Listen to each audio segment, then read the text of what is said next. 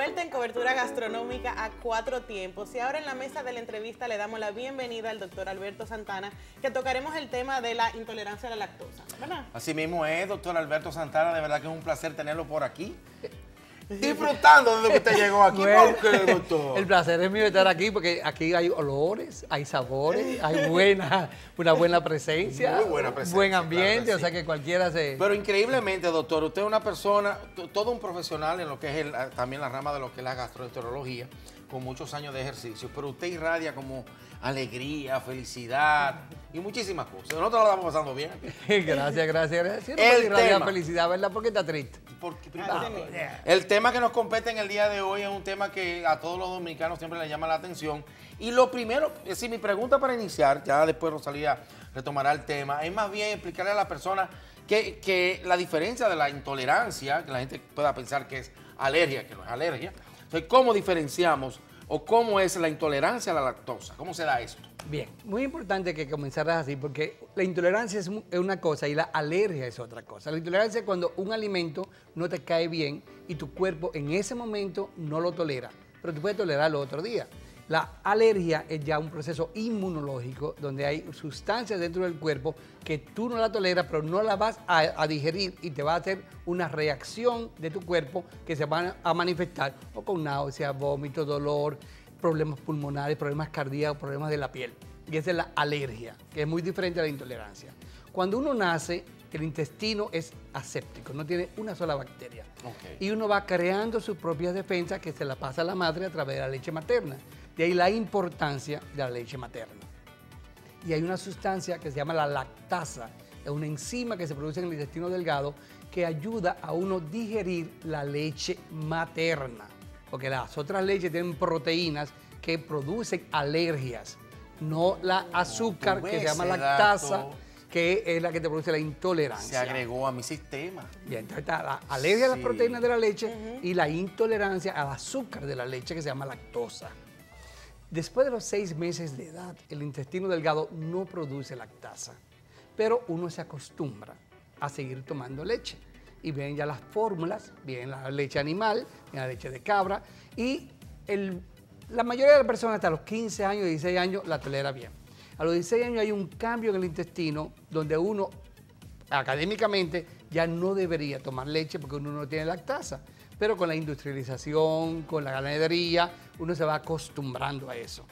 Pero en realidad hay 30 millones de personas en Estados Unidos que no pueden ni siquiera ver la leche por la intolerancia tan grande que tienen. Y el 66% a nivel mundial no puede tomar leche.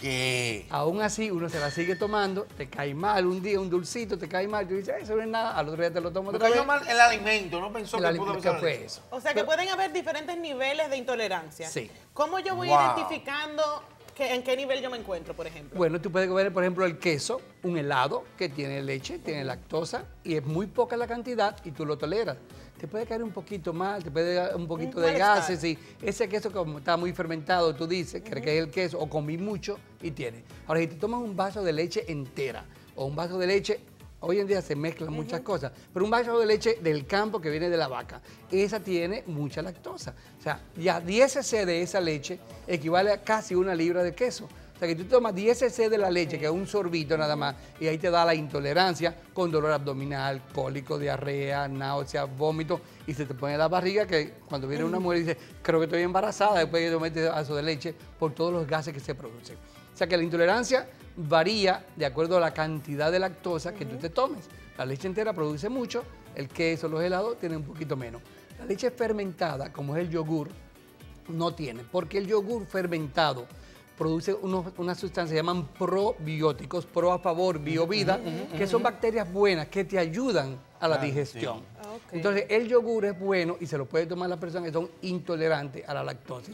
¿Dónde entra entonces el juego y, se está poniendo, no me gusta utilizar la palabra de moda, porque no es moda, simplemente son opciones que el mercado también industrial, industrial te está ofertando y son los diferentes tipos de leche que encontramos para el consumo humano, como la leche de almendra, eh, o inclusive estuvimos leyendo una noticia. leche de cabra, leche de, coco, soya. De consumo ya, porque ya la leche de coco la había para cocinar. Y la leche de arroz también. La leche de arroz. Cuéntenos un poquito sobre estas leches. La leche que, la que estamos acostumbrados, la leche animal, la leche que viene de la vaca, que tiene proteína. O de cabra. O de cabra y eso.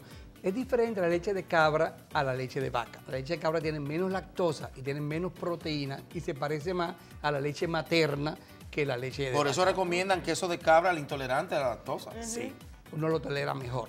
Y tiene menos alergias también. Porque la vaca come el pasto, pero en ese pasto vienen todos los pesticidas, también le ponen hormonas, tiene muchas, muchos químicos. La cabra casi nunca, bueno, ahora también está industrializada, pero es menor. Es menor, y no, y no y come otras cosas que no solamente el pasto. O sea que la leche de cabra tiene menos lactasa y es más tolerable. Ahora, las otras leches que tú dices son ya leches que vienen de los los oligos y los fructos sacáridos. De los fructos sacáridos que viene la, almendra. Es una leche que se usó mucho en, en Egipto cuando uno quería, la leche, perdón que aquí, la leche de vaca se, usó en Egipto primero como belleza. Te recuerdas que los padres se bañaban en, baños de vaca para la piel, pero nadie después de los seis meses tomaba leche de vaca. Entonces ahí vino ya a tomar también la leche y se tomaba la leche de cabra y la leche de los frutos, que era la leche de almendra. La leche de almendra cuando se usa con toda la cáscara no se ve muy bien, pero cuando tú le quitas la cascarita, 12 semillitas de almendra te puede dar un vaso de leche. 12 semillitas de almendras y la cascarita te dan un vaso de leche. Un vaso de leche y tienen muchos nutrientes y no tiene intolerancias y no tienes alergia. De ahí que vino el boom de, los, vegetarianos, de la costumbre de eso. Y luego se descubrió que habían otros, otros frutos que también podían producir leche, incluso el alpiste, que se usa mucho, como no tiene colesterol, ayuda para rebajar el colesterol, ayuda para no engordar. Hoy en día el 90% de la población de América, de Estados Unidos, y te digo de Estados Unidos porque son los que llevan más estadísticas, nosotros no llevamos muchas estadísticas, pero el 90% de los americanos son obesos. El 90% de los americanos tienen el colesterol alto. Entonces han buscado alternativas para bajar el colesterol y para tratar de, disminuir un poco el peso. Y de ahí viene la cirugía bariátrica y muchas cosas. y la leche es uno de los alimentos principales porque desde las abuelas, de bisabuelas, dicen un vaso de leche y un huevo tiene todo lo que tú necesitas. Eso es un mito, no es verdad. Pero si te gusta la leche, no quiero entrar en conflicto con, con mis amigos los ganaderos, si te gusta la leche, síguetela tomando, si te cae bien, te la sigues tomando. Porque es un buen alimento, tiene vitamina D, tiene vitamina C y es muy buena. Y volviendo un poco a lo que es la intolerancia, yo consumiendo, si soy intolerante, consumiéndola poco a poco, ¿puedo eh, ser, ser tolerante o cómo eso se trata? Sí, tanto la intolerancia como la alergia se puede tratar así.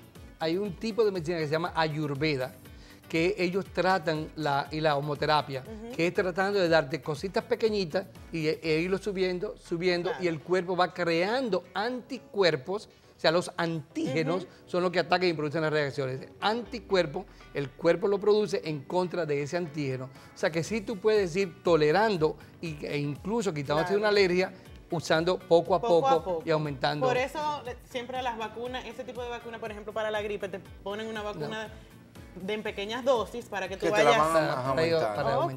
Y en cuanto a la, eh, volviendo y cayendo entonces al tema de las leches y las variaciones que podemos encontrar o las ofertas que podemos encontrar en el mercado, como las que mencionamos, ¿no se han dado casos de intolerancia a estas leches? Eh, ¿Qué recomendación de dosis usted la da, la recomienda el doctor Santana? Sí, mira, la leche que más se ha estudiado desde el punto de vista médico ha sido la leche de almendra y la leche de soya. Sí. Y esa tú puedes tomar toda la de soya. tú puedes tomar toda la cantidad que tú quieras y no te va a producir ninguna alergia. No se han, no se han descrito alergias ni, ni intolerancias.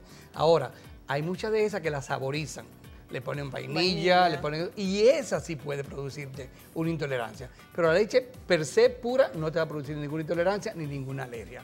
Ahora, cuando tú le echas un azúcar, una cremita, la mezcla con las avenas, le echas la vainilla con sabor a coco y todos, todos esos sabores son los que te pueden producir la intolerancia. Pero yo recomiendo la leche de almendra y la leche de soya aunque el presupuesto se, se aumente un poquito porque es mucho más cara.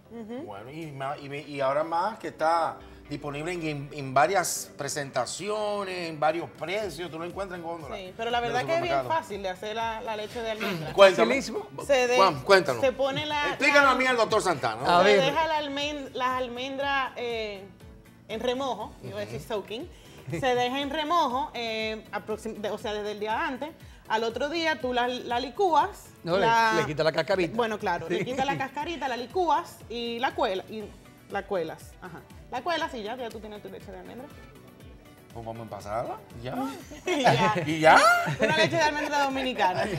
Pero de verdad que, doctor Santana, siempre es un placer poder contar con presencia de profesionales como usted. Ojalá que esta, yo sé que usted vive muy ocupado, pero ojalá que esta visita se repita. Eh, hoy hemos aclarado pu- puntos que hemos venido tratando con otros profesionales que también nos han aportado bastante, y, pero hoy se han descubierto otros detalles que los trajo el doctor.